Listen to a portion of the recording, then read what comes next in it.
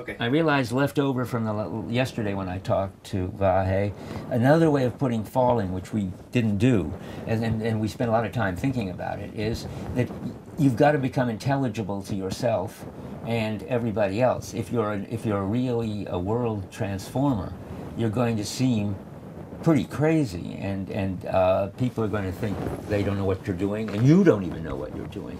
But if you don't take up at least some of the normal, uh, recognized, routine ways of doing things in your culture, you're going to be a lunatic. So, and so you have to again fall. This time, instead of saying falling short, I'd say falling in with. You have to, in a certain sense, fall in with the way things are done.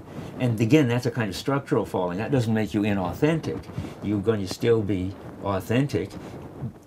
You don't have to be crazy to be authentic. And you, therefore, the uh, the On the authentic you need to yeah, be able to take over and take over do it in the world as the world is. Right. Now let me ask Guy a question which maybe we want to keep off the record because I don't know where it leads, but I am concerned. When you get this whole list of characteristics of authentic Dasein, uh, he, he's uh, already, I forget, but he's got anxiety and being toward death and guilt and so forth. Is on that list falling?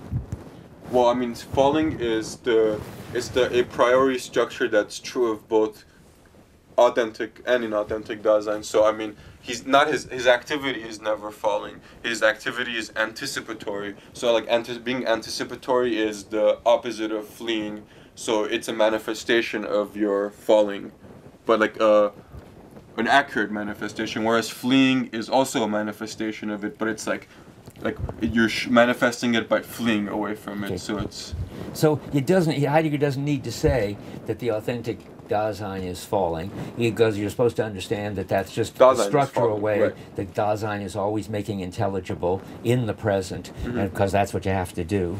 And he certainly isn't going to say that uh, authentic Dasein is fleeing, because the whole point is authentic Dasein isn't fleeing. So neither of these will be in that list. Right. Okay, that makes sense.